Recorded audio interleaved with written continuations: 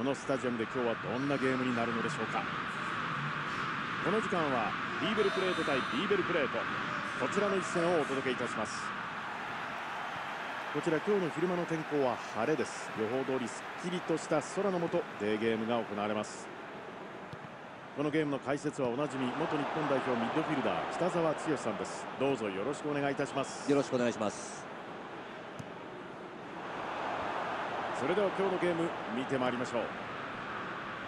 ビーベルプレート対ビーベルプレート。サイドの紹介です。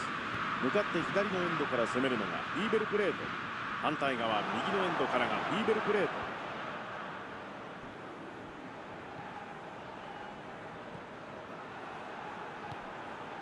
マティアス・スアレス。ボールを下げてリズムを作るか。縦組み立てる。ここはすぐ奪い返します。ビーベルプレート。この柔らかいパス。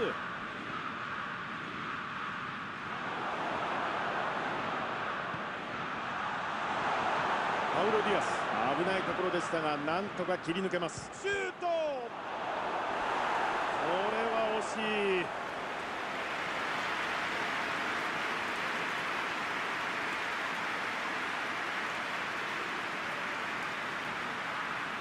このファーストハーフ最初のコーナーキックはビーベルプレート。クリアです。テクニックを披露します。ルーカス・マルティネス。カスコ。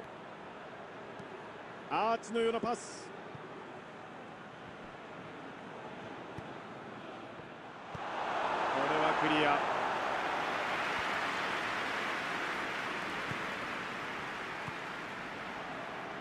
このボールはカットされます。ふわっと裏を狙う。さあ来たか。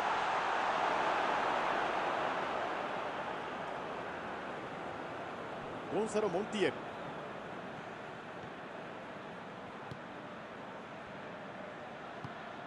フェルナンデス。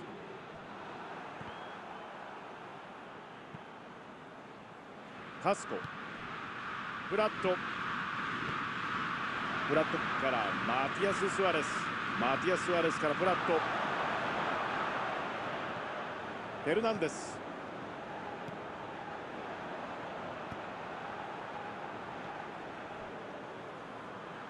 さあつながるか？パウロ・ディアス。組み立て直します。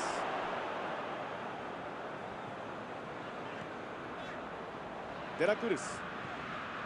ファーストハーフこの終盤両チームスコアは0対0です。裏のスペースを狙う。ピノラ。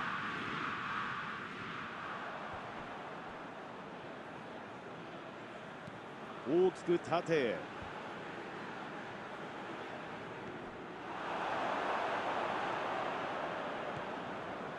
カスコ。デラクルス。デラクルスがここはファールを取られます。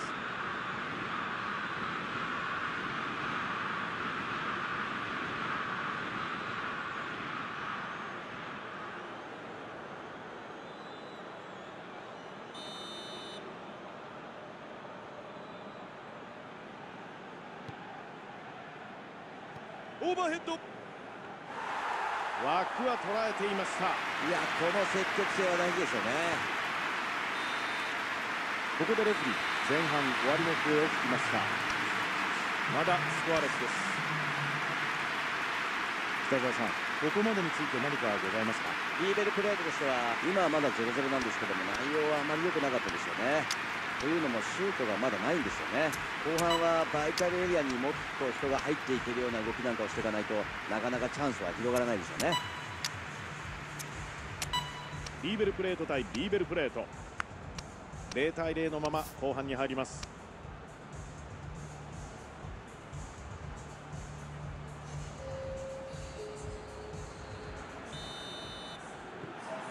後半スタートです。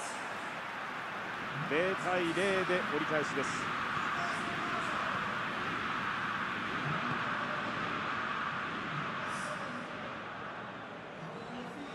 左から上がっていきます。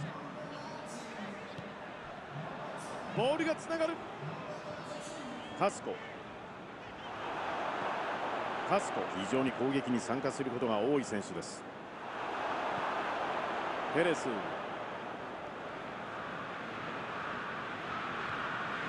エンソ・ペレスからマティアス・スアレス。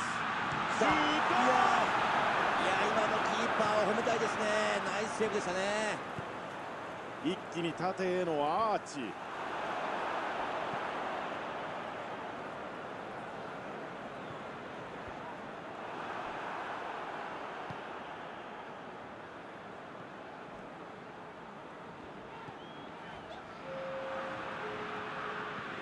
いけるか？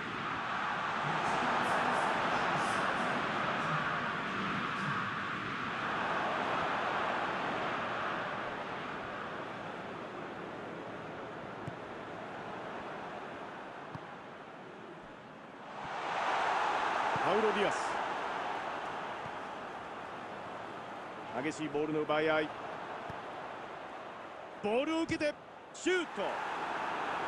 いやー惜しいシーン。しかし相手の守備の対応が一歩遅れたのか。危ないシーンでした。リーベルプレート。まあこういうチャレンジはいいですよね。どんどん打っていってほしいですね。ゴンサロ・モンティエル。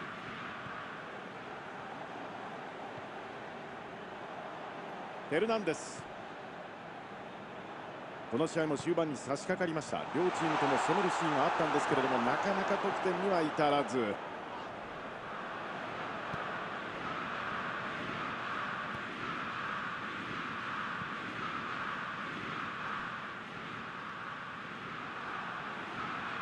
裏へ届くか？仕掛けるか？いい攻撃でしたけどもね。まだ時間ありますからこの試合どうなるか分かりませんね。ペレス。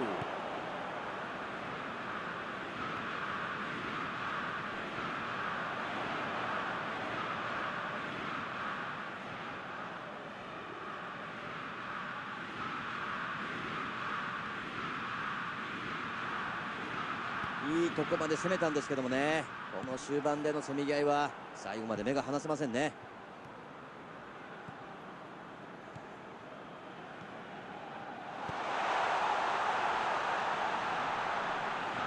デラクルス。フェルナンデス。ペレス。長いボール縦へ。手元の時計3分を切っている状況。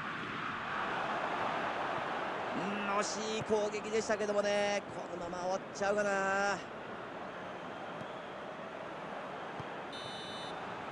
主審上を口に加えて今試合終了です。0対0今日は0対0の引き分けという結果。